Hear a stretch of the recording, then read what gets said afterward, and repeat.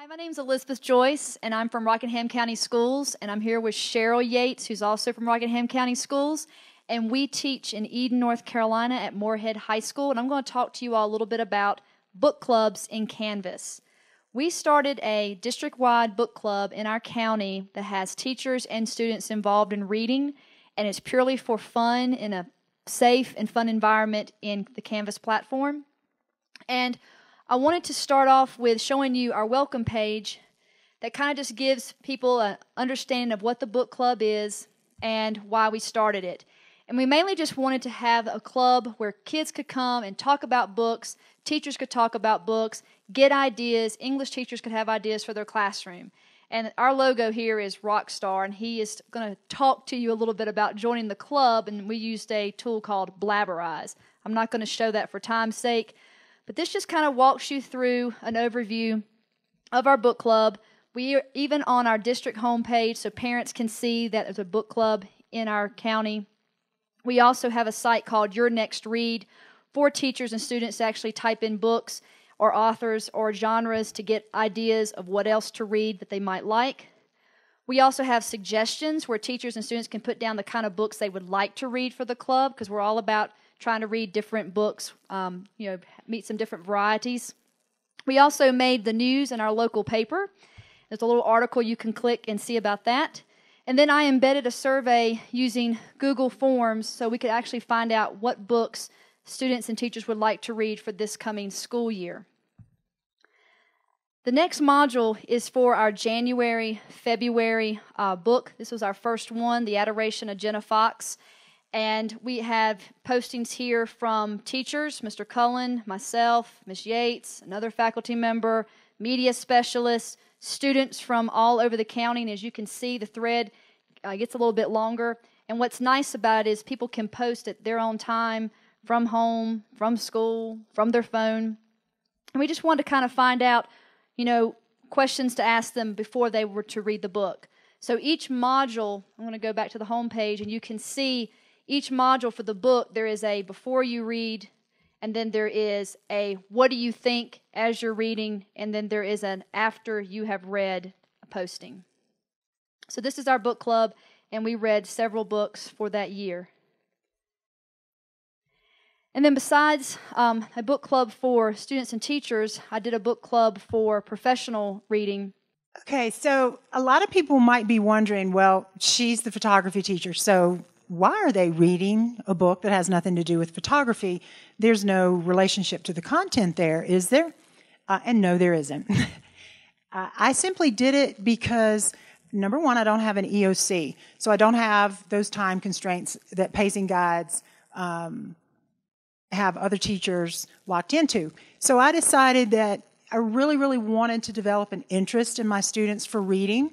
So I would take the first 10 or 15 minutes of every class and I would just simply read to them. So Elizabeth picked out a book for us called Maze Runner, which is just a very exciting trilogy. And we just read for the first 10 or 15 minutes.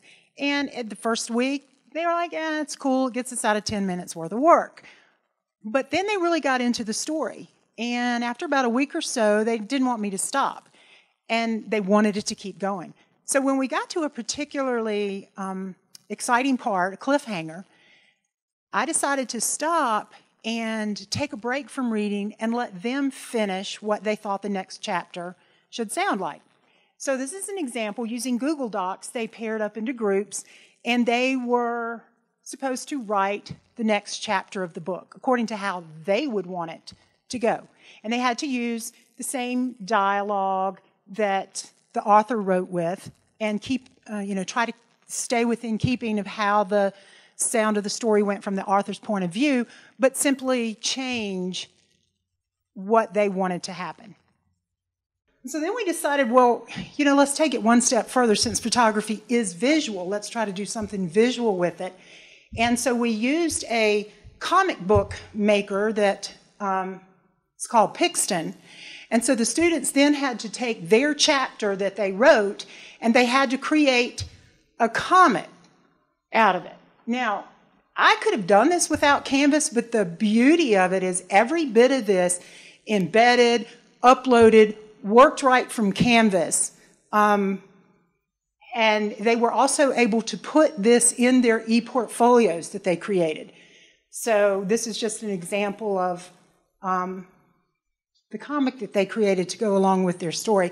The funny thing is that after they finished, a couple of them were disappointed with how the book went because they were so invested with what they had written and they really liked their version. But we also, just to get a little bit of collaboration going a little bit farther, some critiquing, some peer critiquing, we had them put links on Canvas to each of their Google Docs. And so every group had to read everybody else's writing, and then they had to critique and comment. And they did the same thing with the comics. And so everybody got to read what everybody else wrote.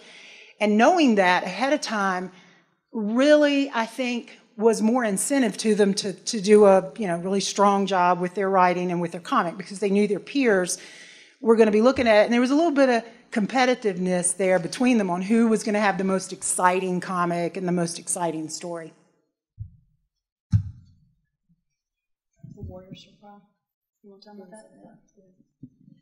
Uh, some of you might have come yesterday and had seen us talk about Not on My Watch, the Human Rights Project we did. So, another way to involve reading is to talk about book trailers and to get books, you know, kind of introduced to kids almost like in a movie format. So I had taught some of my kids last year in my classroom about book trailers, and I say, you know how when you go to the movies and you see those, you know, trailers and you really they grab your attention, you're like, wow, I want to see that movie. I need you guys to do that for books. So this is an example of one that a student made on Warriors Don't Cry. It is a memoir. It's about the Little Rock Nine in 1957.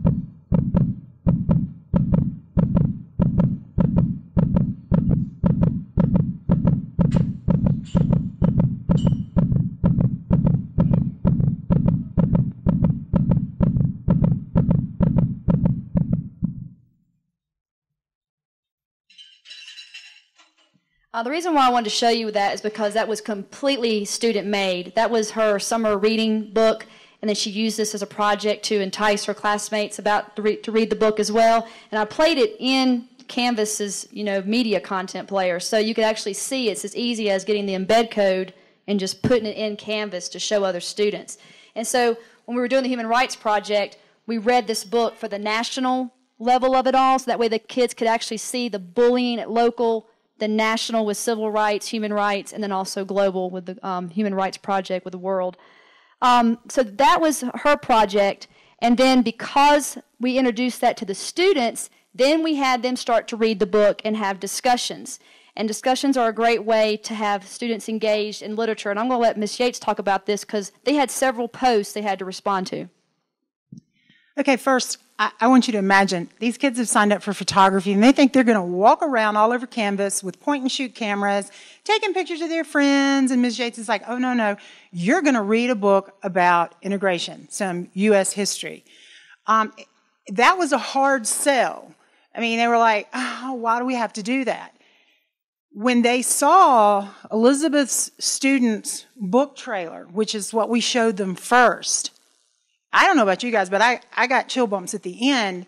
When they saw that, it was like, hey, yeah, that looks cool. Okay, we'll read it.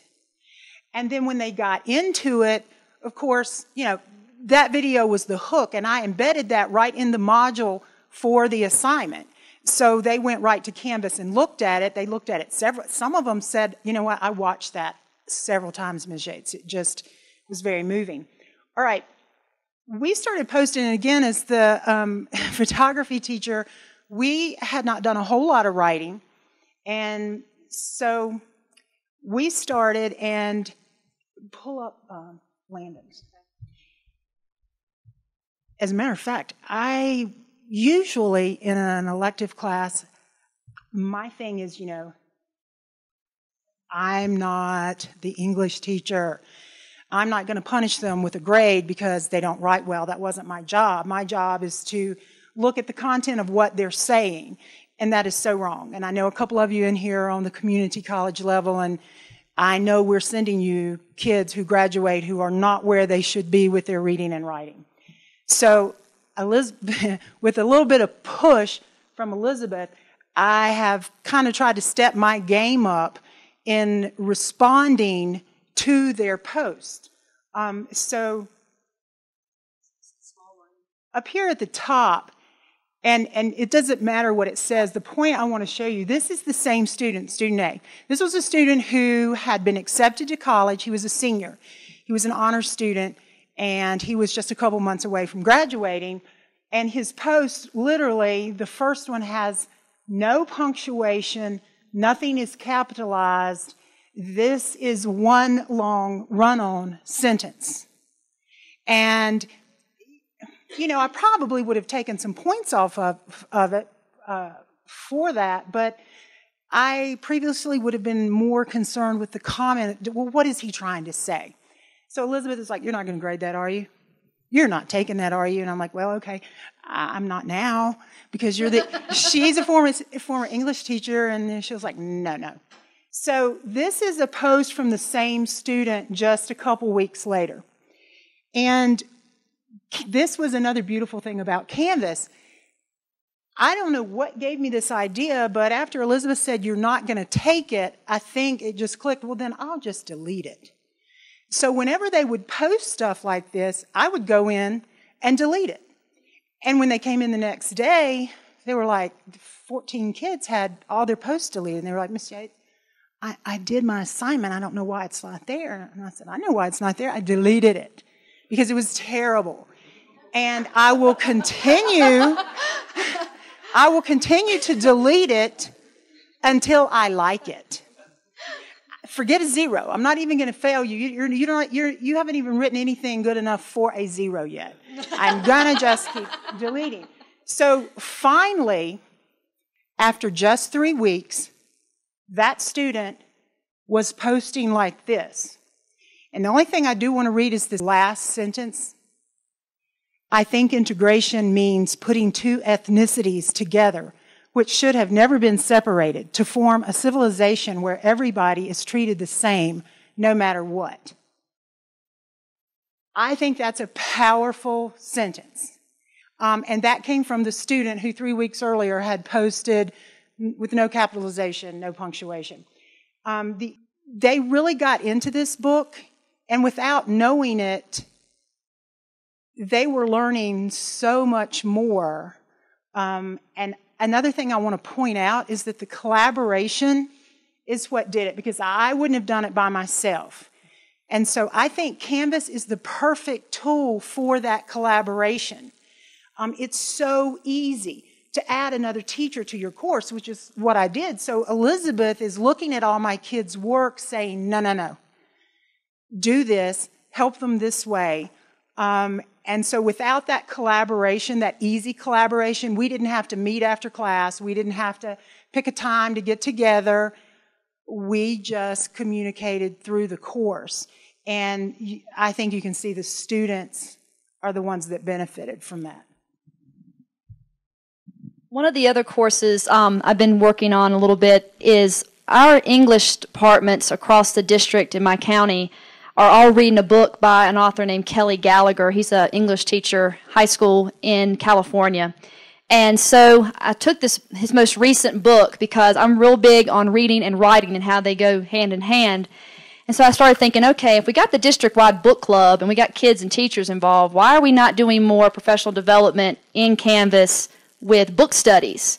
I mean, you could take any book. It could be technology, online learning, um, writing, reading, what have you, math. So I took his book, uh, Kelly Gallagher, Write Like This, and I basically just broke down the modules into a, a group study. So, you know, basically a professional book club for teachers. And in this way, we can get ideas from each other, and if possible, if your district allows it, you may be able to get, you know, CEUs. But I just thought that teachers need to kind of see what the students are going through, like really put them in Canvas as students and see what it's like to submit an assignment, see what it's like to actually do a discussion post, you know, maybe even get a little bit radical and do some video footage of themselves versus just everything being text. So these are just some examples of like assignments. And so like a getting to know you kind of a thing. How do you teach or demonstrate writing in your classroom? Uh, what do you hope to gain or to learn from this class? You know, how can we help each other, kind of a thing. And then, um, as Ms. Yeatts has pointed out, rubrics are huge. I mean, Canvas has been a lifesaver having rubrics because that way you can actually, with the class as a whole or with another teacher, develop one. And I want Ms. Yeatts to talk just a little bit, if you will, about when she had her students make a rubric together because I think that was really powerful because at first they were speechless when she was trying to get them to actually create one. Okay, so yeah, I've gotten really, really into this rubric thing with Canvas because mainly it's so easy to grade, and everything I grade in my class is pretty much subjective artwork, writing. It's and it's really hard sometimes to explain to a student, well, that painting is a 93 versus a 95. Why? Where are those two points, Ms. Yeatts? That's difficult to show. So I started using the rubrics but some things are very uh, subjective. And so actually, Elizabeth gave me the idea and said, why don't we get the kids involved? Because they are hard to make, especially when it is subjective material. What does an A collection of photo documentary look like? A high A, a mid A, a low A. So we got them involved, and as she said, they were pretty speechless at first because nobody had ever empowered them to have a say about how they were going to be assessed. So I just gave them a day or two and, and said, you know, write down if you were the teacher, what do you think the best of an A would look like? And then something that's maybe a little better than a B, but not the best A, a low A. And so we did the rubric together. The great thing about it was I had absolutely nobody questioning me about their grade. And they had that rubric right there in their canvas shell. And as they were working, I would keep reminding them now, you are checking the rubric, right? Because if I could see they weren't where maybe they needed to be with an aspect of it, reminding them to go back to that rubric I didn't even have to say anything. I didn't even have to point out what was wrong. The beauty was they could find it themselves. They could look at that rubric and do a self assessment and say, okay, she wants this. Do I have that? No, I don't. Uh, and if they didn't, they could sometimes figure out what they didn't have, and maybe they didn't know where to go from there. But then that's when the dialogue came into play. They would come and they would say, "Okay, Ms. Yeatts, I looked at the rubric, and I, am not. I know I didn't do this, but I'm not real sure how to do it.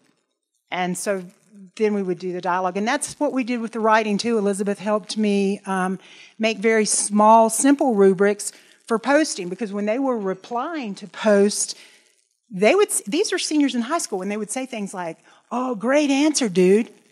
Uh, I agree 100%. Oh, I like the way you said that. And I probably would have given credit because, yes, you did reply to two people. But with that rubric, um, and the handy delete button that I so thank you for, um, they sort of figured out, oh, okay, this is what a good post looks like. And the book club, with faculty participating with students, we could model for them. This is what a good post looks like, and this is what an appropriate response looks like. And I do I have time to tell the story sure, about please. you at please. you know, a lot of this was new to me, working with, uh, collaborating with an English teacher who was also an ITS teacher. So it benefited me tremendously. Um, but she has me doing all these discussion questions and posting, and I'm so proud because we're writing in, you know, the the photography and the art class, and it's spring break, and hallelujah, I get to, we all get to go home for spring break. So it was also uh, end of a grading period. And so I wasn't going to grade over spring break. I will tell you that using Canvas is going to put some responsibility on the teachers. You will have to respond in a timely manner because you can't hide anymore. They, okay, they know if they're getting a response or not. And you can't respond to one or two and forget to grade the rest because the one or two that get their comments are going to be excited. And the rest of the kids are going to be like, hey, hey, what about me? So Elizabeth was sitting on the beach spring break and she had set her phone up to get notifications every time kids posted. So she was responding like crazy as they would post. Me? No. I did not have that notification turned on. So two days before the grading period, I am frantically trying to read and make comments and you know, I'm, i wanted my comments to be valuable, so I'm, I'm writing lots of stuff. And the next day we came in, and one of my students, Tiffany, came up and said, Hey, Ms. Yeatts, thank you for 17 emails yesterday. Because I had gotten so, so behind that she had gotten 17 notifications from you in one day. Um, so you do have to, you know, there, there's a responsibility involved with this. You have to do your part too. You do have to respond in a timely manner. So whether it's a book club where you're reading books for fun, you're reading a book maybe once a month, because we did meet face to face as well.